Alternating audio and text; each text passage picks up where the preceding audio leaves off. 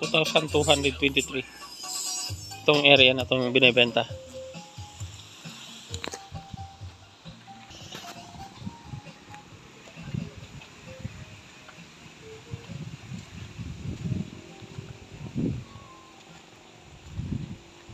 Two thousand two hundred twenty-three po ito.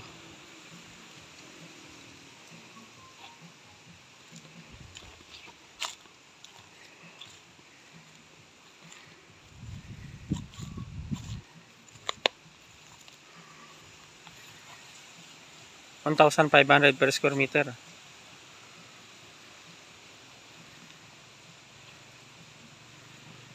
Yan pa, may mga nyog. Malalaking nyog. May sariling. May mga bunga to kuyang ano, kayo mito mo? May mga bunga kayo mito mo? Taba, no? Wala, kung may bunga yan. Ay, Ayan, oh. Garon. Ay, bunga. Oo, ayan, oh. May nakita ko. Hindi ko, hindi ko nga kita eh. May, may bunga yan, oh. May bunga na yan. Kaya laglag ng bumagyo. Ang taba. Papa, paano ang lupa mo kaya doon sa may tabas? Diretsyon pa ganun? Ay, di ba na yung ano yung, Alin? ayun yung extroin. Ay, yung straw? Oo, Papunta doon. papunta doon. Ah, Tapos na doon, pag, pag ano naman siya. ah papaganayon. Tapos ang frontage niyan, kuya, doon. Doon naman sa may nyog. Oo, ba, yung may naglamatas na yun. Ay, nyog na mataas pa ganun. Oo, papunta doon. Ang ganda nitong overlooking to, no? Ialok natin sa ano, mga barkada ko baka mabili para sa tourist spot. Mabayaran. Pera ka na agad dito. Ganda nito. Tabing-tabing BGMP lang. Pero siyempre, pag binili, kasama na yung bahay mo. Aba, siyempre dagdag naman. Magkano nagastos yun sa bahay mo? 25. Ay, di, idagdag, dagdagan na lang.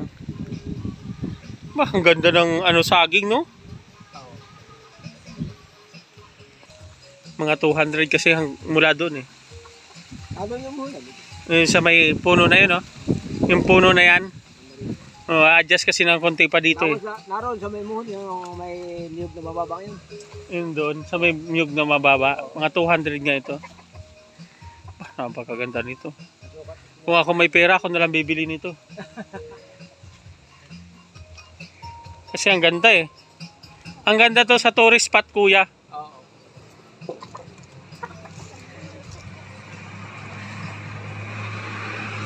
Ito yung hangganan ng muhon. Yan, papuntang Umira yan. Lumana yung mga jeep, tabing-tabing kalsada lang po ito. Ang lahat ng gustong bumili ng property dyan, overlooking view. Ayan, ang tabing kalsada lang po. 2,223. 2,223 po itong property na to.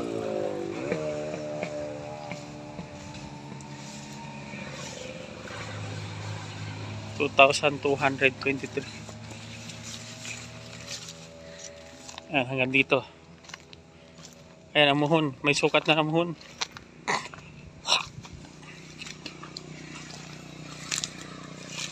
muhon. Ah, ayan ang muhon. 2,223, 1,500 per square meter. Tabing-tabi ng BGMP po ito. Ayan, tabing-tabing kalsada. Mga 100 to 200 meters. Mga 200 meters ang lapad po nito. Ayan, malinis na malinis. Puro nyug po ito. Maganda, maganda po ito sa campsite. May sariling sapa. May sariling pinagkukunan ng nyug. Ay, pinagkukunan ng tubig. Yan, malinis na malinis po yan. Kumuha yung kapatid natin ng kalamansi. Okay na?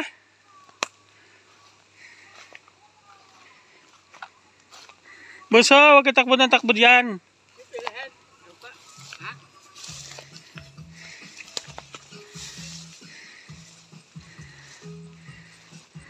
Ayan, bumili po tayo ng kalamansi dito sa lupa na to.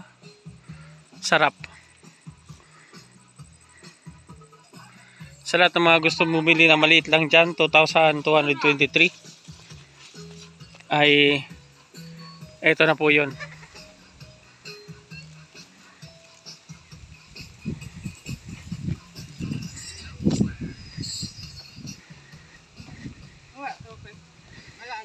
Meron? Baba. Lagay lang bomba.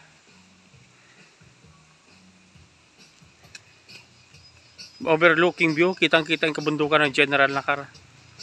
Dito. Napakaganda po ito sa campsite. Napakalinis. O, malalaki ang bunga ng nyug. Ayan.